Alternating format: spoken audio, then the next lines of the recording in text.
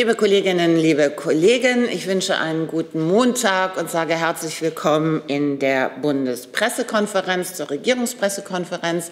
Ich begrüße Regierungssprecherin Christiane Hofmann. Ich begrüße die Sprecherinnen und Sprecher der Ministerien. Das Online-Tool ist seit heute abgeschaltet. Das heißt, wir sind wieder zurückgekehrt in die Präsenzveranstaltung. Und apropos Präsenz, äh, im Gesundheitsministerium stapeln sich bei wenigen Menschen die Termine heute. Deswegen schlage ich vor, dass wir Fragen an das Gesundheitsministerium vorziehen und damit beginnen. Gibt es Fragen an das Gesundheitsministerium? Herr Jessen. Ja, die Frage nach den verfallenen Moderna-Dosen, ähm, das war ja absehbar. Äh, warum wurde nicht vorher Sorge dafür getragen, dass sie dann vielleicht auch noch kurzfristig anderswohin gebracht werden wurden, wo sie vielleicht gebraucht werden könnten. Ist ja auch eine Solidaritätslieferung ins Ausland möglich. Ja, also richtig ist, dass bis Ende Juni 2022 jetzt circa 4 Millionen Impfstoffdosen eben, ähm, die im zentralen Lager des Bundes das Verfallsdatum erreicht haben und ähm, nun fachgerecht entsorgt werden. Grundsätzlich ähm, gilt hier, dass ähm, der Impfstoff verworfen wird. Eine logische Konsequenz ist aus dem Portfolioansatz. So, das wurde zu Beginn entschieden, dass wir hier eine Portfoliostrategie fahren, um unterschiedliche Impfstoffe den Impfwilligen anbieten zu wollen. So, wie viele Impfstoffe jetzt auch in den nächsten Monaten verfallen, ähm, ist aufgrund der derzeit laufenden Impfkampagne nicht absehbar. Aber man kann sagen, dass noch weitere Impfstoffdosen verfallen werden. Nachfrage? Nichtsdest ja, sorry. Nichtsdestotrotz setzt sich das BMG hier auch in Zusammenarbeit mit der EMA, mit dem PAI und mit der EU-Kommission und mit den Herstellern kontinuierlich damit auseinander, die Haltbarkeit der bereits ausgelieferten Impfstoffe zu verlängern. So, und jetzt zu Ihrer Frage. Impfstoffspenden. Ähm, die Bundesregierung ist stets dran, ähm, ob wir spenden können. Wir haben jetzt zum Stand 1. Juli mehr als 118 Millionen Impfstoffdosen gespendet an rund 45 Empfängerländer, die weitestgehend über COVAX ausgeliefert wurden. Weitere 5 Millionen befinden sich in Auslieferung. So, das Problem bei der Sache ist aber, dass, die, dass das globale Impfstoffangebot derzeit bei weitem die Nachfrage übersteigt und COVAX und auch andere Beschaffungspool überhaupt keinen Bedarf haben an weiteren Impfstoffbedarfen. Zusatz, Herr Jessen? Zusatz. Ähm, ich verstehe das dann so, dass Sie sozusagen gar keine Chance gehabt hätten, äh, die jetzt verfallenen Dosen anderswohin äh, zu liefern. Ähm, was bedeutet das aber für weitere Beschaffungen? Äh, Portfolioansatz muss ja auch heißen, dass man eine Einschätzung hat, welche Impfstoffe werden tatsächlich nachgefragt. Und 4 Millionen Verfallene ähm, und weitere, wo Sie sagen, Verfall wird kommen, sind ja doch ein Zeichen dafür, dass dieser, äh, dieser Impfstoff im Portfolio äh, zu stark vorhanden ist. Was bedeutet das oder welche Auswirkungen hat das auf weitere Beschaffungen? Also hier zu, zu der Frage hat sich der Minister am Wochenende via Twitter geäußert. Dem habe ich auch nichts hinzuzufügen. Was den Herbst betrifft, ähm, werden wir angepassten Impfstoff beschaffen. Der, die Beschaffungen laufen über EU-Verträge. Das steht für sich. Weitere Fragen zu diesem Punkt? Dann machen wir weiter mit Herrn Küstner. Ja, eine Frage, die sich wohl auch ans Gesundheitsministerium, vielleicht auch ans Innenministerium richtet. Aus aktuellem Anlass gibt es Forderungen vom Ärzteverband ähm, Marburger Bund nach einem nationalen Hitzeschutzplan. Soweit mir bekannt sind diese Hitzeschutzpläne weitgehend Ländersache. Ähm, wird trotzdem an so etwas gearbeitet? Ist sowas realistisch, dass es einen, eine Art nationalen Plan geben wird? Ich kann gerne anfangen, ansonsten würde ich auch den, an den Kollegen Stolzenberg vom BMUV ähm, dann verweisen. Also ähm, Hitzeschutz ist grundsätzlich eine übergreifende Aufgabe für Bund, Länder, Kommunen als auch für Träger von Einrichtungen, für Selbstverwaltung und auch die Fachgesellschaften. Also man kann hier von einer Art Querschnittsaufgabe sprechen. Ähm, für BMG kann ich sagen, dass wir im engen Dialog mit sämtlichen relevanten Akteuren im Gesundheitswesen stehen auch internationalen Organisationen. BMG fördert derzeit auch ähm, Vorhaben von insbesondere Kommunen, weil Kommunen einfach am besten wissen, wie es um die Krankenhäuser, ähm, Pflegeheime oder auch Ärzte steht. Also, ähm, wir haben ähm, zum Beispiel einen Hitzeaktionsplan mit der Stadt Köln, die besonders für vulnerable Gruppen ausgerichtet sind. Und abschließend kann ich sagen, dass der Minister sich auch hierzu geäußert hat. Er verweist bitte kühlen und viel Flüssigkeit. Ansonsten haben wir mit, zusammen mit der Bundeszentrale für gesundheitliche Aufklärung, die BZGA, ein Internetportal für die Bevölkerung eingerichtet, Klima-Mensch-Gesundheit. Es wurde 2021 ins Leben gerufen, jetzt auch um den Schwerpunkt UV-Strahlung und UV-Schutz erweitert und hier Informationen und Verhaltenstipps, Verhaltenstipps für die Allgemeinbevölkerung, Menschen ab 65, Eltern mit Kids und so weiter. Und für den Rest ich übergeben.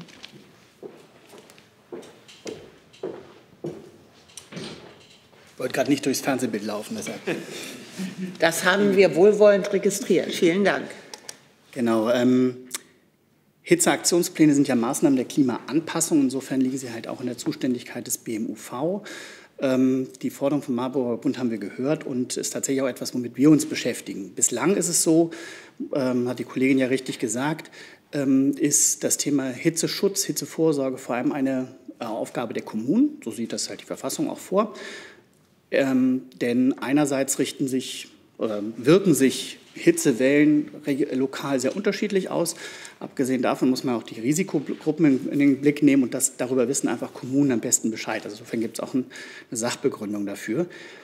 Nichtsdestotrotz haben wir ja mit den andauernden Hitzewellen jetzt in den letzten Jahren einige Erfahrungen gemacht. Äh, wir haben heute auch eine Studie dazu vorgestellt, die die, die, die verursachten Schäden durch die Hitzewellen von 2018, 2019 sehr genau aufzeigen. Und das zeigt, man muss wahrscheinlich die Situation überdenken. Und deshalb haben wir ein Forschungsvorhaben angestoßen, das sich einerseits äh, die Zuständigkeitsproblematik anschaut, aber zum anderen auch genau anschaut, wie ist denn der Bedarf von jetzt zusätzlichem, von einem zusätzlichen nationalen Hitzeaktionsplan, der über das hinausgeht, was die, kommunalen, was die Kommunen vorsehen, beziehungsweise das irgendwie sinnvoll ergänzt. Wie gesagt, ähm, da hören wir einfach in erster Linie erstmal auf die Wissenschaft. Trotzdem sind wir nicht untätig. Ähm, ich sprach gerade Risikogruppen an. Wir haben ein eigenes Förderprogramm zur Klimaanpassung und sozialen Einrichtungen. Äh, schon jetzt, seit nach, nach mehr als einem Jahr, kann man sagen, die allermeisten Anträge von Pflegeheimen, Altenheimen, Krankenhäusern, Grundschulen, Kindertagesstätten gehen in Richtung Hitzeschutz. Das ist also offensichtlich ein relevantes Problem für vulnerable Gruppen. Und ähm, es geht dabei dann um investive Maßnahmen, also äh, beispielsweise Fassadenbegrünung, Dachbegrünung ähm, oder aber auch Trinkbrunnen oder Neuanlage von Grünanlagen, aber eben auch konzeptionelle Maßnahmen, weil man muss eben nicht nur die zu betreuenden Personenschutz in, in, in Blick nehmen, sondern eben auch die Beschäftigten, um, um zu versuchen, dort eben äh, eine umfassende Lösung zu finden. Ähm, Zentrum Klimaanpassung ist für Kommunen da der Ansprechpartner die eben tatsächlich mit Fachberatung seit über einem Jahr zur Verfügung stehen. Und wir stellen auch da fest, es gibt einen sehr großen Bedarf äh, der Kommunen, hier mehr zu wissen und sie können auch sehr viel tun. Also insofern ist es eigentlich sehr ermutigend, nach über einem Jahr Bilanz zu sagen, da arbeiten wir schon gut zusammen und ähm, hoffentlich endet das auch in einem wirksamen nationalen Hitzeaktionsplan. Wir werden es sehen. Zusatz, Herr Küssner? Wenn ich jetzt ähm, Ihre beiden Einlassungen zusammenfasse, dann gibt es viele Einzelmaßnahmen. Sie haben die äh, Problematik der Zuständigkeiten angesprochen. Ist aber jetzt nichts in Planung, was kurzfristig einen nationalen, ein nationales Handeln der jetzt anstehenden Hitzewelle betrifft, richtig?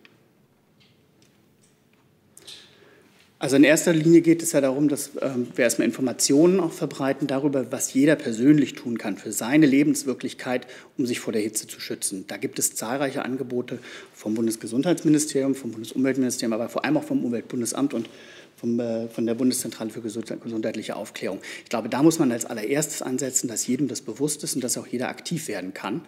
Ähm, darüber hinaus ist es erstmal eine Aufgabe der Kommunen, die ja auch reagieren. Also ich weiß, das, Wort, das Stichwort Cooling Center ähm, ist etwas, was ähm, letzten Wochen immer öfter bei uns auch angefragt worden ist. Das ist auch etwas, womit sich viele Kommunen beschäftigen. Sprich also äh, Orte zu schaffen, an denen man sich ähm, aufhalten kann, wo es kühler ist und wo man sich vor der Hitze schützen kann. Aber da können wir im Augenblick auch aufgrund der Zuständigkeit nur mit Fachexpertise beiseite stehen oder eben ähm, unsere, unsere Handlungsempfehlungen, die eben auch schon seit vielen Jahren in Kommunen umgesetzt werden, tatsächlich ähm, immer wieder äh, hervorholen und, und, und Kommunen ans Herz legen. Gibt es weitere Fragen dazu? Herr Jessen? Ans BMG, aber nicht speziell zu diesem Punkt.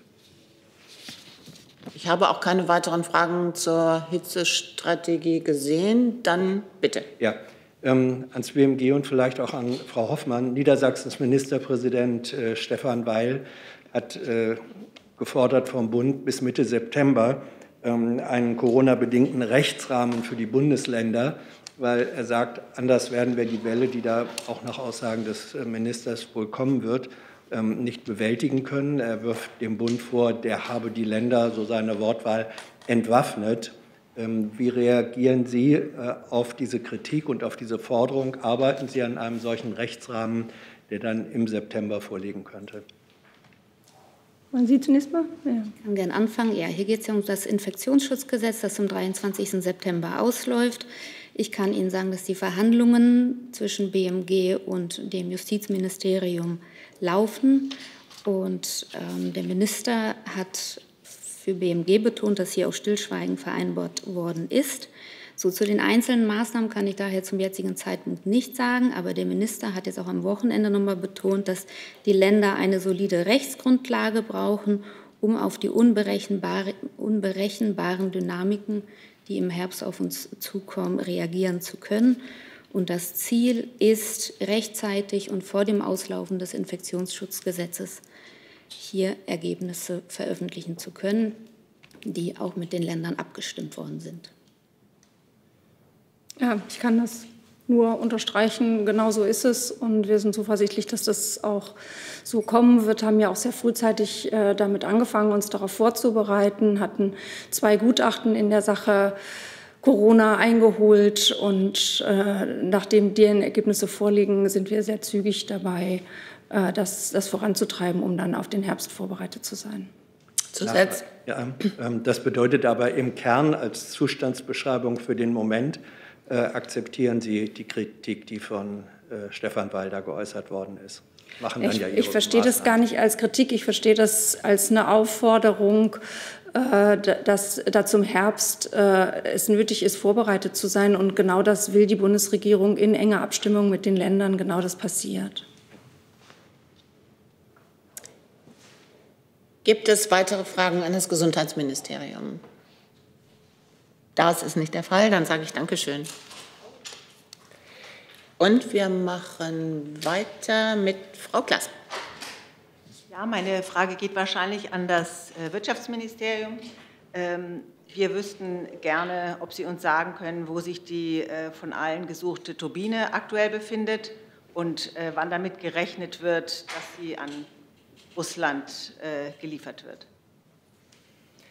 Ja, vielen Dank. Die Meldungen, die heute dazu kursierten, kann ich nicht kommentieren.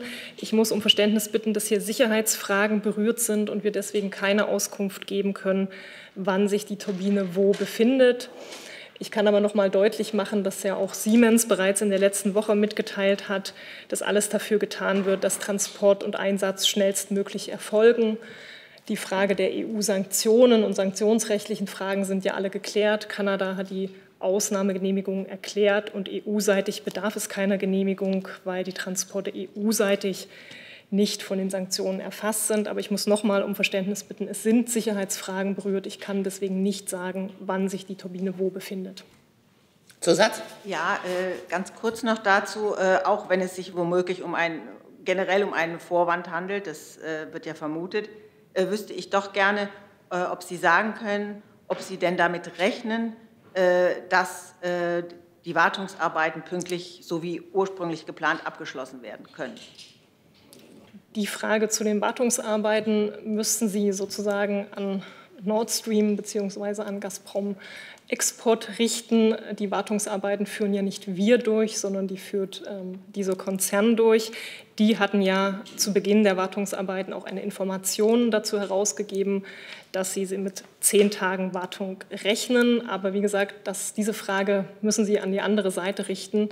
Wir beobachten die Lage sehr genau und wir bereiten uns auf alle denkbaren Szenarien vor. Herr Jessen dazu? Ja, weil Sie sagten, zehn Tage Wartung. Dieser zehn Tage Zeitraum läuft am Donnerstag ab. Äh, gehen Sie in irgendeiner Weise davon aus, dass man, äh, dass eine Turbine, deren Standort im Moment nicht öffentlich genannt werden kann, das spricht ja nicht dafür, dass sie in Einsatzortnähe ist, dass das bis Donnerstag vollendet, eingebaut und betriebsfertig gemacht werden kann? Sehen Sie da irgendeine Chance?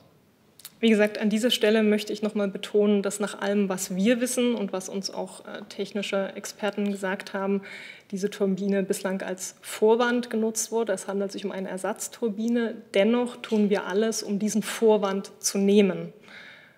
Technische Gründe sehen wir aber nicht. Nach unseren Informationen ist diese Turbine eine Ersatz, Ersatzturbine, die für den Einsatz im September bestimmt war. Aber nochmal, wir tun auch alles, um etwaige Vorwände der russischen Seite zu nehmen.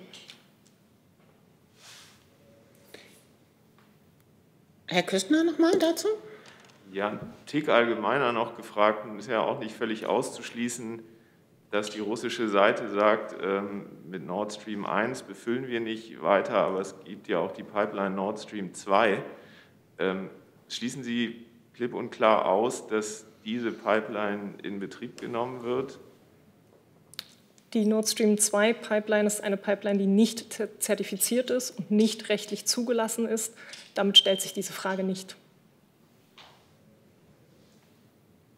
Dann Herr Kollege, bitte. Das ist der weitere Rahmen. Im Grunde betrifft das die Folgen. Da geht es um die Frage, ob ein Tempolimit in befristeter Art vielleicht ein adäquates Mittel wäre. Frau Hoffmann, äh, wie, wie steht denn der Kanzler dazu? Wäre ein befristetes Tempolimit eine Option, um Energieprobleme im Herbst, Winter vorzubeugen? Sie wissen ja, dass der Koalitionsvertrag kein Tempolimit vorsieht. Und ähm, wir hören jetzt im öffentlichen Raum eine ganze Menge von Vorschlägen darüber, was helfen könnte für den Herbst, Winter. Und wir nehmen das zur Kenntnis, aber kommentieren das jetzt hier nicht weiter. Zusatz? Es gibt ja auch andere Punkte, die beschlossen wurden, die so nicht im Koalitionsvertrag drin standen. Ich möchte doch noch mal nachfragen, ist das ein Punkt, über den man nachdenken könnte, sollte? Im Moment kann ich dazu nicht mehr sagen als das, was ich gesagt habe. Also wir nehmen zur Kenntnis, dass da eine ganze Reihe von Vorschlägen im Moment unterbreitet werden, wie äh, Energieversorgung erleichtert, verbessert werden könnte oder Entlastungen. Dafür nehmen wir auch viele Vorschläge wahr, aber wir äußern uns dazu jetzt hier im Moment nicht. Bitte schön. Ja, auch noch mal zu den Folgen, also erweiterter Rahmen. Die Bild schreibt, es könnte, es steht jetzt schon fest, dass es regionale Engpässe im Winter geben könnte. Stimmt das? Wo genau würde das eintreffen und was wollen Sie dagegen tun? Ich glaube, das ist eher eine Frage an dich. Ne? Genau. Also wir tun ja alles, damit die Versorgungssicherheit gewährleistet bleibt. Und da hilft es jetzt auch nicht, über alle möglichen äh, Szenarien zu spekulieren, sondern wir müssen anhand der aktuellen Lage entscheiden. Und wir gehen ja auch konkrete, konkrete Schritte, damit der Gasverbrauch reduziert wird. Ich möchte noch mal daran erinnern, es gibt 15 Milliarden, die die Bundesregierung für die Speicherbefüllung zur Verfügung stellt. Das hat dazu geführt, dass die Gasspeicher ähm, weiter befüllt worden. Natürlich ist es noch nicht ausreichend, aber sie wurden in den letzten Monaten äh, weiter befüllt.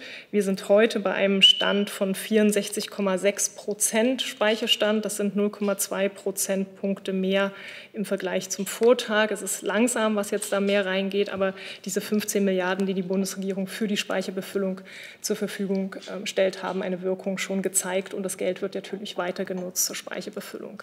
Zweitens gibt es natürlich konkrete Maßnahmen, um den Gasverbrauch in der Stromerzeugung zu reduzieren. Dafür sind die gesetzlichen Voraussetzungen geschaffen worden, um mehr Kohle ins Netz zu bringen und dafür Gas rauszunehmen. Die entsprechende Verordnung zur Netzreserve ist am vergangenen Donnerstag, am 14. Juli in Kraft getreten. Ab da ist es also jetzt möglich, dass Kohlekraftwerke, also Steinkohle, in der Netzreserve auch wieder am Markt tätig werden kann. Und drittens äh, arbeitet die Bundesnetzagentur ja an einem Gasauktionsmodell, um auch Anreize in der Industrie zu setzen, ähm, Gas einzusparen.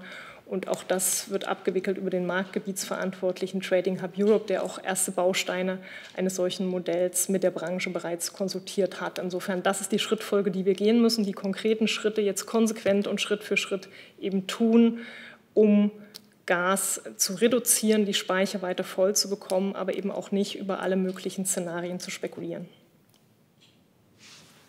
Frau Klaßmann dazu? Dann bitte. Ja, äh, ich möchte gern den Faden da äh, aufnehmen äh, und hoffe, dass das jetzt auch nicht in so einem Zuständigkeits-Ping-Pong zwischen BMI, Ihrem Ministerium und Frau Hoffmann endet. Es geht ja nicht darum, dass man über Szenarien spekuliert, es geht aber, wie wir es ja auch bei der Corona-Pandemie gesehen haben, wo es ja auch Szenarien gab, einer guten, schlechten, mittleren Entwicklung, darum, ob sie den Verantwortlichen, die für solche Mangellagen in manchen Regionen dann planen müssten, ob sie denen solche Szenarien schon zur Verfügung gestellt haben und äh, welche Regionen äh, im schlechtesten Falle dann betroffen wären. Das ist ja auch für die Bürger wichtig zu wissen, ähm, ob es da äh, Vorkehrungen gibt. Das hat ja nichts mit Panikmache zu tun, sondern vielleicht ist man ja auch beruhigt, wenn man weiß, auch der Bund kümmert sich in der Frage.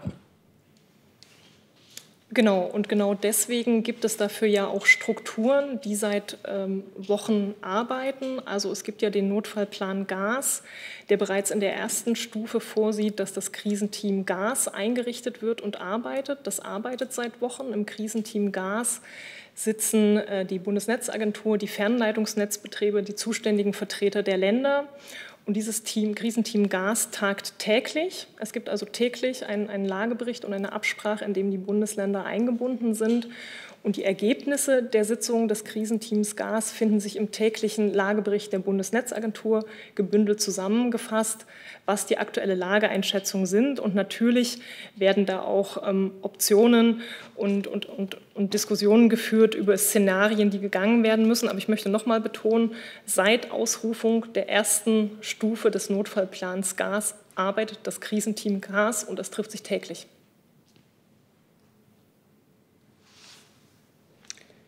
Dann Herr Kollege noch mal bitte. Eine Frage bitte ans Umweltministerium und ans BMWK. Da, da geht es um äh, mögliche längere Laufzeiten für Atomkraftwerke. Unter welchen Umständen wären Sie denn bereit, einer solchen Maßnahme zuzustimmen?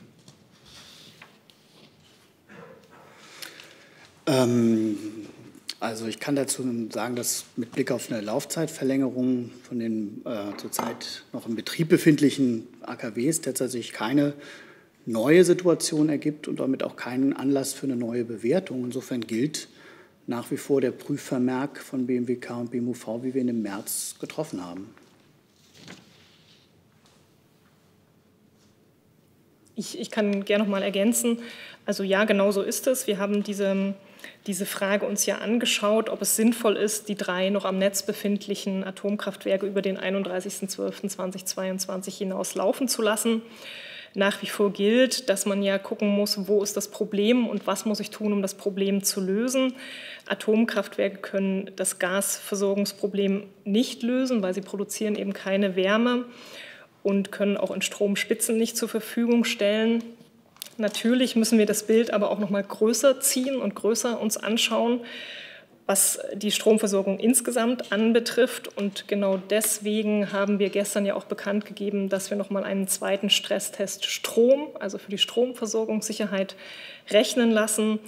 Äh, einen ersten Stresstest haben die Übertragungsnetzbetreiber im Zeitraum von März bis Mai 2022 gerechnet. Die Ergebnisse haben wir auch veröffentlicht. Äh, da wurde unter, unter gestiegenen oder, oder angeschärften Annahmen schon nochmal gerechnet. Ähm, der Zeitraum März 2022 bis Mai 2022 liegt ja bereits nach dem russischen Angriffskrieg, also wurde schon mal gerechnet mit eben einer verschärften ähm, Gasmangellage, mit erhöhten Preisen am Gasmarkt. Es wurde in diesem Szenario mit 200 Euro die Megawattstunde gerechnet und in diesem Szenario kam man zu dem Ergebnis, dass die Stromversorgungssicherheit im Winter 2022, 2023 dennoch gewährleistet ist. Aber unser Job ist es ja, die Vorsorge, Vorsorge abzusichern und alles abzuklopfen. Deswegen haben wir die Übertragungsnetzbetreiber gebeten, nochmal einen zweiten Stresstest zu, zu rechnen mit nochmal verschärfteren Annahmen, um jeden Punkt abzuklopfen. Und diese Analyse wird jetzt eben durchgeführt. Zusatz? Ähm, genau dazu. Könnte das am Ende auch zu einem Ergebnis führen, dass man sich die drei verbliebenen Atomkraftwerke nochmal anschaut? was wir von, von Beginn an gesagt haben, dass wir auf Basis von Fakten und Analysen entscheiden. Nicht auf Zuruf, sondern auf Basis von Fakten und Analysen. Und es gibt jetzt diese zweite Stresstestberechnung, die erstellt wird, um nochmal andere Szenarien abzuklopfen. Ich möchte nur nochmal sagen, ne, die, die, die, erste Rechnung März 2022 bis Mai 2022 hat schon sehr verschärfte Annahmen unterstellt. Aber dennoch, wir rechnen jetzt nochmal und entscheiden dann auf der Basis von, von klaren Fakten. Frau Kollegin. Äh, Mareike Kirschner, Mediengruppe Bayern, Passauer Neue Presse. Hallo. Ähm, in der Union gibt es ja den Vorstoß, dass man über das Tempolimit äh, reden könnte um, und dafür aber eben auch äh, die Atomkraftwerke länger am Netz lässt. Gibt es dazu äh, innerhalb der ähm, Regierung ähm, irgendwie bereits ja, äh, interne Diskussionen? Ja, über interne Diskussionen möchte ich jetzt hier eigentlich nicht sagen. Ich kann nur noch mal betonen, dass was äh, Frau Baron eben auch gesagt hat, dass die Frage der Atomkraftwerke für die Bundesregierung von Anfang an keine ideologische, sondern eine rein fachliche Frage gewesen ist und die äh, Expertenprüfungen unterlegen hat und jetzt noch einmal unter verschärften Umständen unterliegen wird. Und äh, da wird es um mögliche Szenarien der, Strom, äh, der Stromversorgung gehen. Das ist die Grundlage von Entscheidungen und nicht irgendwelche ideologischen Überlegungen oder ja, und nicht irgendwelche ideologischen Überlegungen. Herr Jessen? Ja, und wir spielen Frage, hier nicht Ping-Pong, wollte ich nur noch sagen. Sorry. Zur Frage der Folgekostendämpfung. Da gibt es zwei konkrete Vorschläge. Einmal hat in einem politisch eher seltenen Schulterschluss der bayerische Ministerpräsident einen Vorschlag der Linkspartei aufgegriffen und nach dem Auslaufen des äh, 9-Euro-Tickets jetzt äh, das 365-Euro-Ticket gefordert. Zum anderen hat Wirtschaftsminister Habeck gesagt, auch in der mittleren Zukunft müsse es Energieentlastung vor allem für Gering- und Mittelverdiener geben. Äh, sind diese Vorschläge äh, sozusagen nicht nur zur Kenntnis genommen worden, Frau Hoffmann, beim Kanzler, sondern gehen Sie in aktives Regierungshandeln ein? Greifen Sie die auf? Der Kanzler hat ja immer wieder äh, gesagt, dass er das sehr im Blick hat, was die äh, gestiegene Inflation, die gestiegenen Energiepreise für die Menschen in diesem Land bedeuten. Und äh, wir haben ja als Bundesregierung da äh, in dem Zusammenhang bereits zwei Entlastungspakete im, im Umfang von insgesamt 30 Milliarden Euro beschlossen, die jetzt wirken. Und äh, gleichzeitig ist klar, dass wir die Situation auch weiterhin sehr genau beobachten und im Blick haben und, äh, aber ich, ich kann äh, Ihr Interesse jetzt natürlich, dass wir hier die einzelnen Maßnahmen genau durchdiskutieren, total verstehen. Aber äh, ich bitte auch darum zu verstehen, dass das im politischen Raum hier total schwierig wäre, wenn wir das tun würden. Und äh, im Interesse der Sache wird, werden diese Fragen intern diskutiert. Und natürlich werden alle Vorschläge, die da gemacht werden, äh, zur Kenntnis genommen. Aber die, die Frage, wie im Endeffekt es äh, weitergeht in dieser Frage, die wird intern entschieden und hier nicht öffentlich diskutiert. Zusatz, Herr Jessen. Zusatz. Ähm, Im Interesse der Sache, aus dem heraus wir ja nun fragen, ist natürlich auch, dass soziale Spannungen ähm, nicht über das erträgliche Maß hinaus fortgesetzt werden. Deswegen wirklich nochmal die konkret die Frage 365 Euro Ticket als eine langfristig wirkende, konkrete Maßnahme. Ist das eine realistische Perspektive, die Sie ernst nehmend diskutieren oder nehmen Sie nur zur Kenntnis? Das ist ja ein anderer Vorgang. Ich kann über die internen Diskussionen tatsächlich äh, hier nichts sagen. Ich kann Ihnen nur sagen, dass es äh, Diskussionen natürlich gibt, dass wir das alles genau im Blick haben und dass die Bundesregierung entschlossen ist, das Notwendige zu tun und dass wir dabei alle gesellschaftlichen Folgen auch im Blick haben, genauso wie Sie die jetzt hier benennen. Der Kanzler hat das ja auch selbst äh, äh thematisiert. Aber das führt nicht dazu, dass wir das jetzt hier offen diskutieren können. Frau Kollegin, bitte schön. Frau Baron, können Sie noch kurz was sagen zum Zeitrahmen für diesen zweiten Stresstest? Also bis wann rechnen Sie mit Ergebnissen und was ist Ihrer Kenntnis nach sozusagen der Punkt of No Return, wo dann allein aus technischen Gründen dieser berühmte Weiterbetrieb der drei AKW nicht mehr möglich wäre? Ja, also der Stresstest ist jetzt äh, sozusagen ähm, in Arbeit und er wird in den nächsten Wochen äh, finalisiert und, und dann, dann auch vorgestellt werden. Und es muss eben das klare Ergebnis äh, abgewartet werden. Also es, es, gibt ja ein Gesamtergebnis. Das Gesamtergebnis des bisherigen Stresstests 1 war, die Gesamtversorgungssicherheit in Deutschland ist weiter gewährleistet und so wird es auch ein, ein Ergebnis geben, was dieser, dieser zweite Stresstest hat. Und von dem müssen sich dann natürlich die Folgefragen äh, ableiten und entschieden werden. Und haben Sie, gibt es für Sie ein Datum, bis zu dem Sie zumindest diese AKW-Frage einfach entschieden haben müssen? Also ich glaube, den einen Zeitpunkt gibt es nicht. Natürlich drängt die Zeit, das ist allen Beteiligten klar, weil, weil da natürlich äh, Folgefragen äh, dranhängen. Ähm, wie, wie zu entscheiden ist. Aber nochmal, ähm, wir müssen auf Basis von klaren Fakten entscheiden und die Berechnungen, die jetzt schon einmal durchgeführt wurden, hatten schon sehr verschärfte Annahmen. Also eine Annahme von 200 Euro die Megawattstunde Gas ist eine Annahme, die schon ein, ein sehr starkes Szenario annimmt. Da sind wir Gott sei Dank momentan noch nicht. Wir sind bei hohen Gaspreisen, aber die 200 Euro die Megawattstunde zeigen ja schon, dass nicht mit ähm, ähm, mit geringen Annahmen, sondern schon mit sehr hohen Annahmen auch in diesem ersten Stresstest gerechnet wurde. Herr Kollege? Einfach als Verständnisfrage nochmal. Also mit diesem, also ich kenne die Logik dieses Stresstests nicht, nicht im Detail. Damit ist im Grunde die äh, Laufzeitenfrage offen, bis man weiß, wie, wie tatsächlich die Lage ist, laut Stresstest 2. Die Lage ist die, die wir in diese gesamten Krisensituationen geführt hat. Man muss in der Krise situationsangemessen entscheiden und auf Basis von klaren Fakten entscheiden. Und die Faktenlage jetzt sagt nach Stresstest 1, die Stromversorgungssicherheit ist weiter gewährleistet, auch wenn man unterstellt, wir haben Gasmangel, hohe Gaspreise, einige französische Kernkraftwerke sind nicht am Netz. Das sagt der Stresstest 1. Die Stromversorgungssicherheit ist dennoch gewährleistet im Winter 2022, 2023. Und jetzt wird eben dieser weitere Stresstest mit nochmal erhöhten Annahmen gerechnet und auf Basis dieser Ergebnisse wird dann entschieden, ähm, was zu tun ist. Herr Küstner?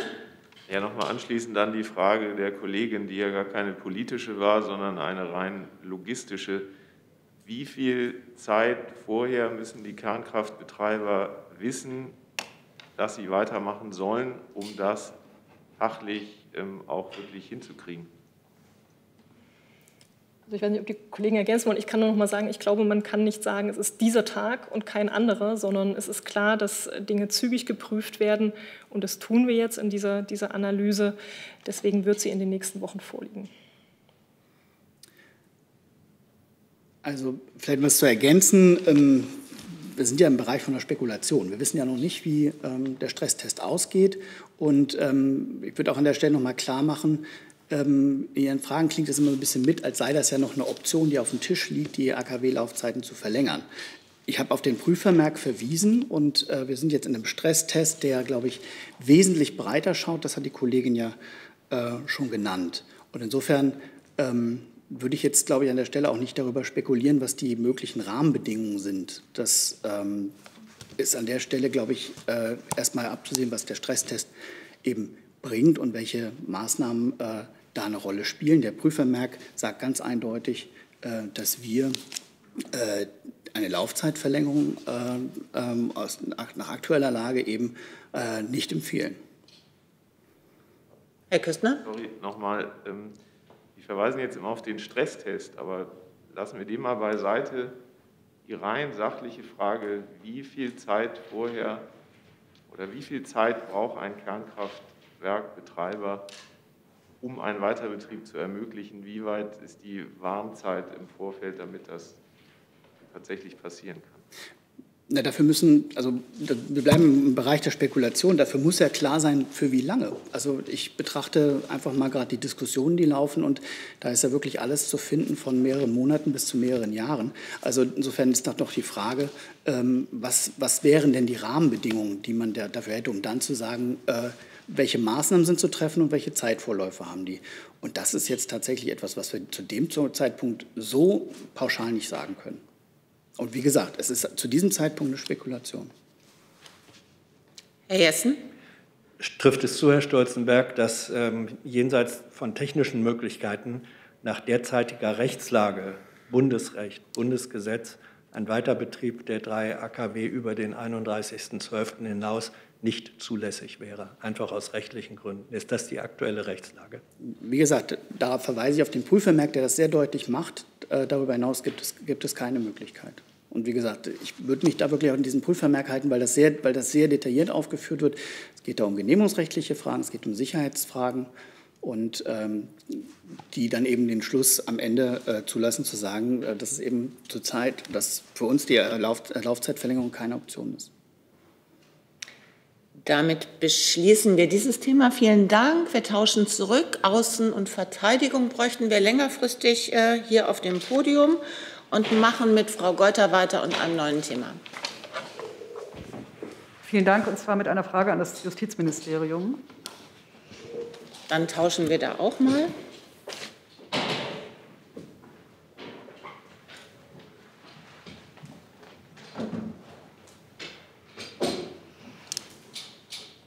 Es geht um das ähm, schon bekannte Vorhaben ähm, zur Strafzumessung, zur Strafschärfung äh, bei geschlechtsspezifischen Beweggründen des Täters, zu denen sich der Justizminister jetzt geäußert hat.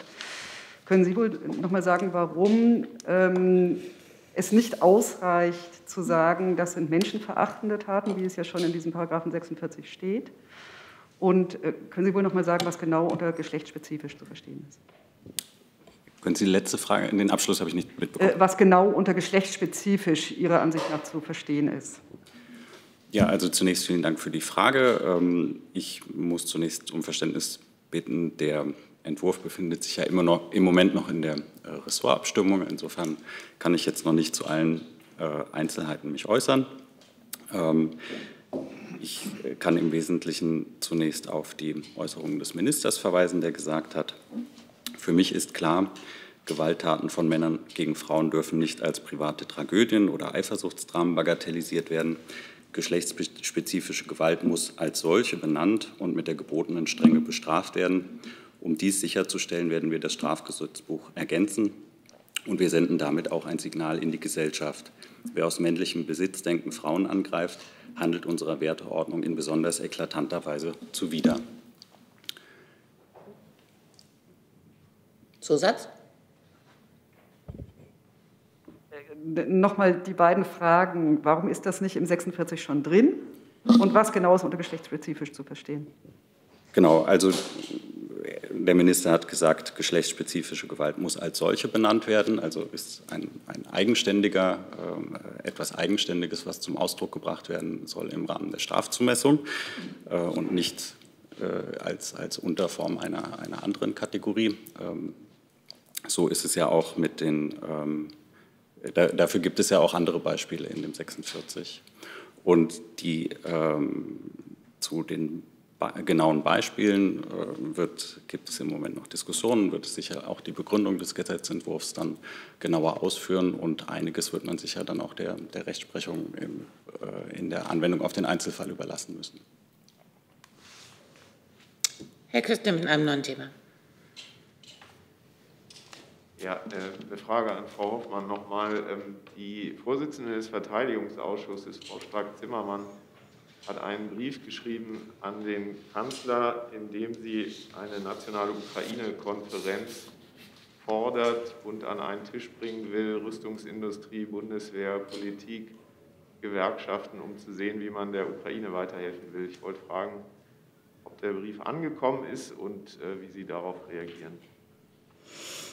Ja, wir werden jetzt auf den Brief nicht reagieren. Ich kann sagen, dass wir zu allen Themen, die die Ukraine betreffen, äh, ständig im Austausch sind, sowohl ähm, im parlamentarischen Raum als auch äh, die Minister, äh, das Verteidigungsministerium und so weiter. Also ähm, da ist jetzt, da diese Forderung müssen wir jetzt nicht noch weiter kommentieren. Zusatz? Teilen Sie denn die Einschätzung, dass es äh, insbesondere auf Deutschland jetzt ankommt, was die Unterstützung der Ukraine angeht, damit sie sich zur Wehr setzen kann? Die Frage habe ich nicht verstanden. Was kommt an? Ob es auf Deutschland insbesondere ankommt, das bezog sich auf die Waffenlieferungen, damit die Ukraine sich gegen den russischen Angriff, die ist ja sehr unter Druck im Osten des Landes, zur Wehr setzen kann. Natürlich spielt der deutsche Anteil an den internationalen Waffenlieferungen für die Ukraine eine, eine, wichtige Rolle. In dem Sinne ja, aber natürlich nicht auf Deutschland alleine. Äh, viele andere Länder unterstützen die Ukraine mit Waffenlieferungen, die USA, weitere Verbündete in der NATO, Großbritannien und so weiter. Also Deutschland spielt eine wichtige Rolle, aber viele andere auch. Möchte jemand ergänzen? Dann Frau Klaas. Ja, eine Frage an das äh, BMI, Herr Kall. Ich wüsste gerne, der Zensus 2022, äh, da gibt es ja offensichtlich Probleme mit der Software. Äh, rechnen Sie noch damit, dass der pünktlich und äh, auch valide von den Ergebnissen her zu Ende geführt werden kann? Das tut mir leid, Frau Klaßmann, mit dem Thema habe ich jetzt nicht unmittelbar gerechnet. Da müssen wir unsere Expertinnen und Experten fragen und Ihnen heute Nachmittag eine Antwort geben. Ich sehe keine weiteren Fragen. Dann sage ich Danke. Herr Jessen ist da. Herr Jessen ist noch da. Frage ans Auswärtige Amt. Ähm, Sie kennen die Berichte, denen zufolge ähm, Russland im Ukraine-Krieg vermehrt Truppen ähm, der Söldnerorganisation Wagner einsetzt. Haben Sie eigene Erkenntnisse darüber? Wie bewerten Sie diesen, diese Form des Militäreinsatzes, auch vor dem Hintergrund, dass bei Wagner offenbar auch rechtsradikale äh, Kräfte mitwirken. Wir kennen solche Berichte natürlich. Ähm, ich kann jetzt hier nicht über ähm, sagen, unsere Erkenntnisquellen im Einzelnen Auskunft geben, aus Gründen, die Sie sicherlich verstehen. Ähm, grundsätzlich bewerten wir das Handeln der Truppen, die äh, sozusagen auf Befehl Russlands, auf Veranlassung Russlands in der Ukraine oder anderswo vorgehen, ähm, ganz unabhängig davon, wie Russland die kategorisiert, ob das jetzt reguläre russische Truppen sind oder, ähm, oder äh, Truppen, die einen anderen Status haben oder Truppen, die deklariert werden als Truppen von äh, sogenannten Volksrepubliken. Ähm, letztlich äh, da, dort, wo auf Veranlassung der russischen Regierung gehandelt wird, Völkerrecht gebrochen wird, ähm, und dieser gesamte Angriffskrieg ist ja eine Völkerrechtsverletzung, ähm, lehnen wir das natürlich äh, rundheraus ab. Und dort, wo sich ähm, Truppen, Truppenteile äh, gleich äh, welcher, welchen Status sie haben, an Kriegsverbrechen begehen, an, äh, beteiligen, an ähm, Verbrechen gegen die Menschlichkeit beteiligen, ähm, da ist unser Anliegen, das wir mit einem erheblichen Teil der internationalen Gemeinschaft teilen, sehr, sehr eindeutig, nämlich dass solche äh, Fälle nicht ungestraft bleiben dürfen. Deswegen unterstützen wir ganz konkret die Arbeit des Internationalen Strafgerichtshofs äh, in der Ukraine. Äh, wir sind auch in, haben, unterstützen auf unterschiedliche Weise auch die Generalstaatsanwaltschaft der Ukraine bei ihrer eigenen Arbeit, solche Fälle zu dokumentieren, ähm, aufzuklären und zu verfolgen. Ähm, und das ist für uns der Maßstab. Der Maßstab ist das Völkerrecht und ähm, ist das humanitäre Völkerrecht. Ähm, und das, daran messen wir das Verhalten all dieser verschiedenen Formationen. Nachfrage. Zusatz, Zusatz Herr Jessen? Ja. Äh, es macht aus Ihrer Sicht keinen Unterschied, ob es sich um sogenannte reguläre Truppen oder sogenannte Söldnertruppen handelt?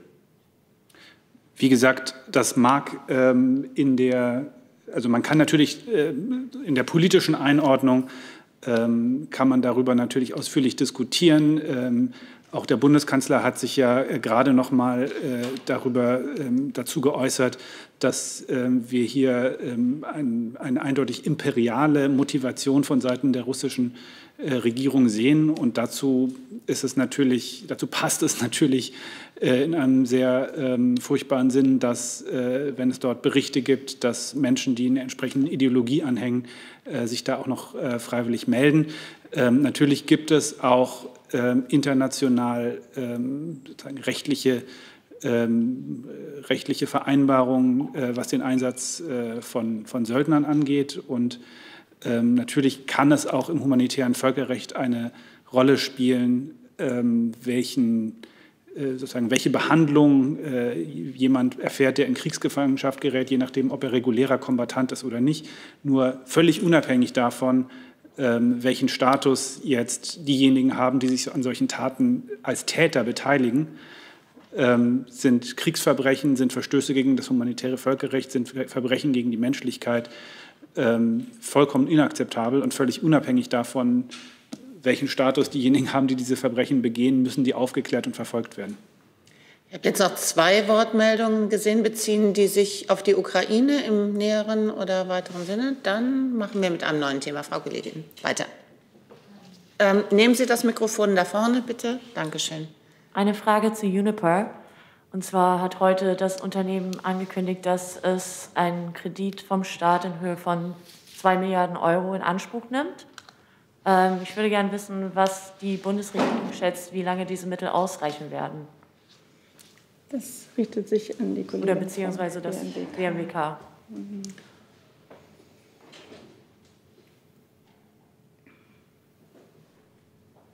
Wobei wir das Thema Gas ja schon ausführlich behandelt haben.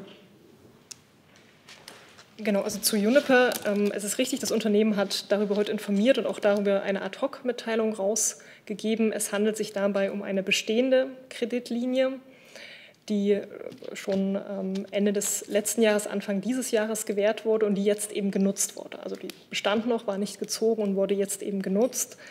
Und im Übrigen gilt weiter, was wir auch am vergangenen Freitag gesagt haben, wir sind mit Juniper, mit Fortum, mit allen Beteiligten im Austausch. Es alle, arbeiten alle mit Hochdruck daran, eine Lösung zu finden, aber nähere Details kann ich zum jetzigen Zeitpunkt noch nicht nennen. Also Sie können Entschuldigung. Jetzt bitte. Zusatz? Ähm, Sie können dann nicht sagen, was passiert, wenn die Mittel ähm, aufgebraucht sind? Also was kommt dann danach? Also zu Ihrer Frage, wie lange reichen die zwei Milliarden? Diese Frage müssen Sie dem Unternehmen stellen. Das hängt natürlich von den unternehmensseitigen Kalkulationen ab. Ähm, aber es ist klar, und das hatten wir auch deutlich gemacht, dass alle mit Hochdruck daran arbeiten, eine Lösung zu finden. Ähm, und daran wird jetzt eben gearbeitet, sodass ich zum jetzigen Zeitpunkt aber noch keine Details nennen kann, welche Strukturen eine solche Unterstützung hätte. Dann Herr Kollege, bitte nochmal mit einem neuen Thema. Äh, Im Grunde landen wir wieder beim Gas, diesmal über Ägypten.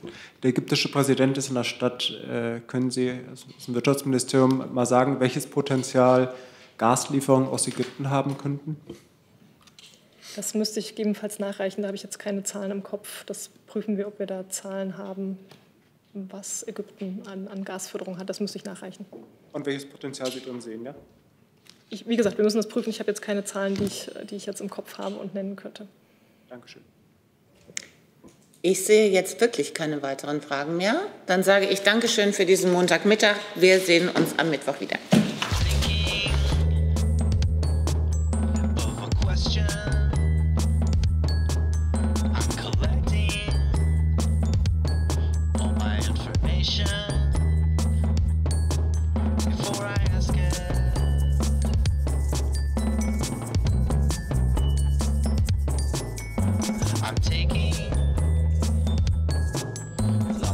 future.